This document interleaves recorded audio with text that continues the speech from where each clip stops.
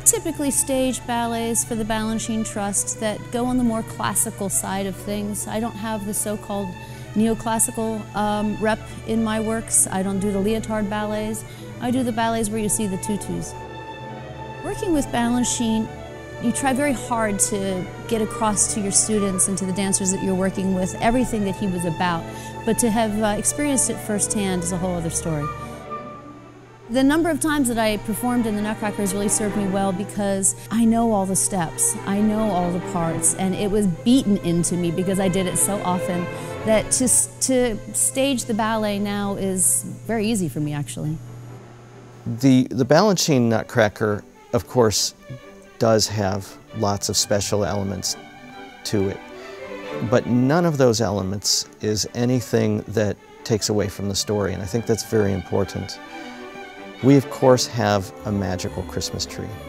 This tree has hundreds of color mixing LEDs, and Josh Monroe, our lighting designer, really did a yeoman's job of learning the technology, learning how to exploit them without losing the character of the Balanchine choreography and without losing really the values of CPYB.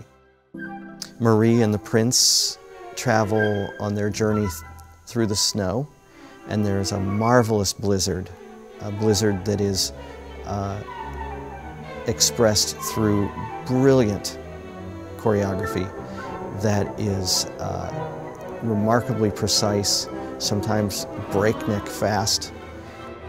They're also getting bombarded with snow from three different points on the stage.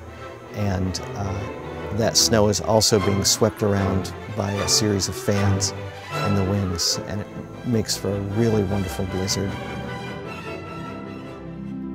We all have our jobs backstage, whether you're one of the angels at the top of Act Two, or you're the cavalier who has to partner your sugar plum, or you're the flyman whose job is to pull the right rope in the right direction at the right time, or the follow spot operator who has to follow the Sugar Plum Fairy as she's lifted overhead.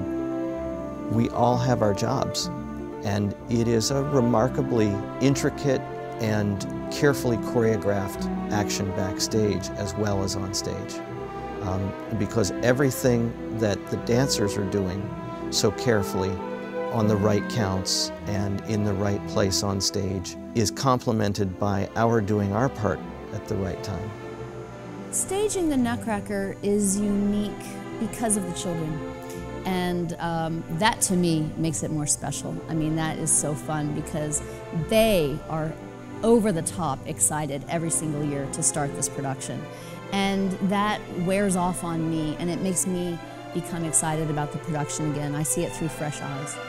Here we are, this is the Central Pennsylvania Youth Ballet, and we have our young dancers out on that stage doing the same choreography that some of the finest dancers in the world are dancing. And they do it with Marcia's signature technique, with Darla's magic touch with the Balanchine style. They are wonderful performers and they hit the wings and all of a sudden they're 12 or 13 again and they're talking about uh, what they did last night after rehearsal and they just become kids again until the next entrance and then they're back out on stage knocking your socks off again. And that is one of the things that is so remarkable for me about CPYB.